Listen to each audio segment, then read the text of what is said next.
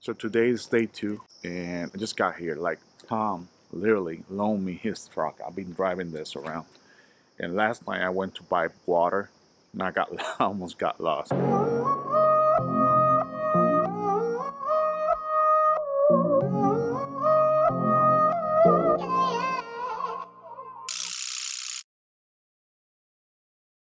What's going on, Tom? Uh, just trying to figure out we have enough space for this truck. How many Let's see. pallets? 32. 32 pallets. Yeah. So early in the morning. It's Oh, yeah. it's 8 a.m. and you already have 32 pallets coming in. Screwed up our breakfast. Yeah. Morning, sir. Hey, I'm Tom. How you doing? How are you? 32 pallets. 32? Is that all?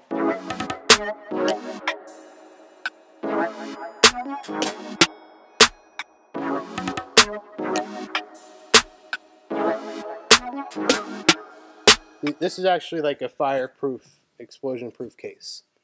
So this battery is 32.85 volts. Right. So you just basically you could build a power wall out of these. You can literally screw them in.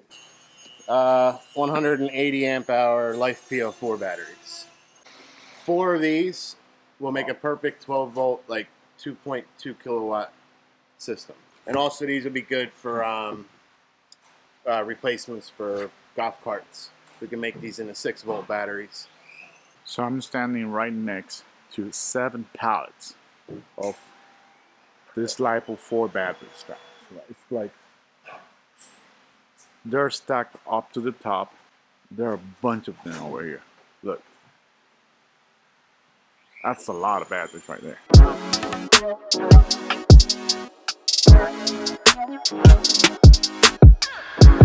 So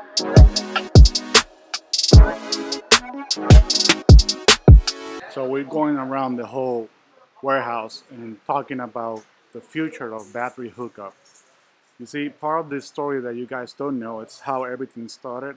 And that's something that I want to show you because Tom and his family is not someone that came out of nowhere. They actually have like a really interesting story of how everything became what is known now alarm hookups. It's soon going to be battery hookups.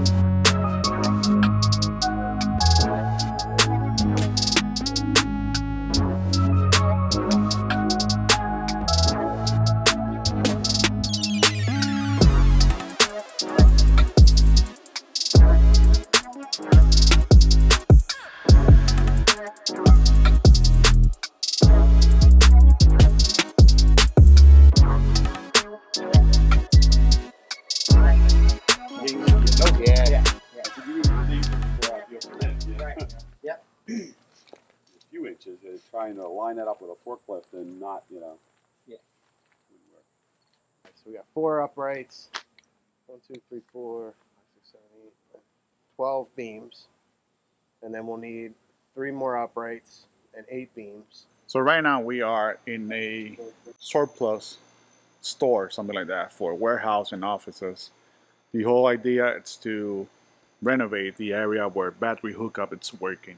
Their employees they need higher workbench, and also since they're expanding so fast, the whole they, they need to get like shelves so they could put pallets and pallets on top of it.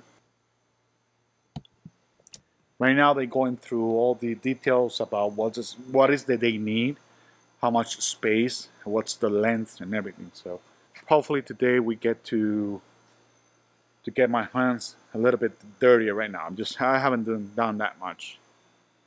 So yeah.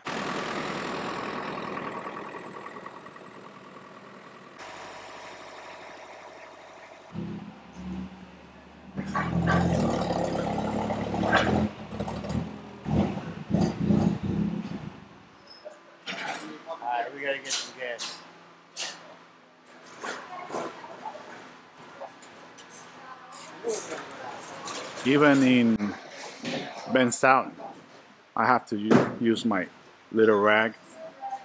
Um, so this is what's going on.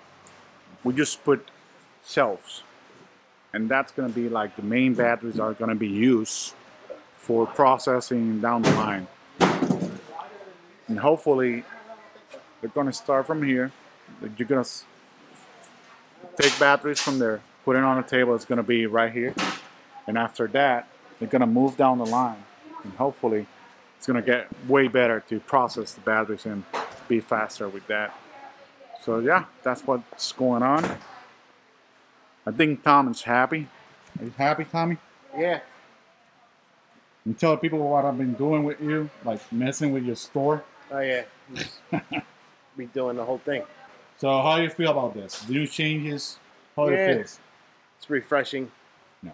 New stuff Running out of space. Yeah. Yeah. It's kind of nice.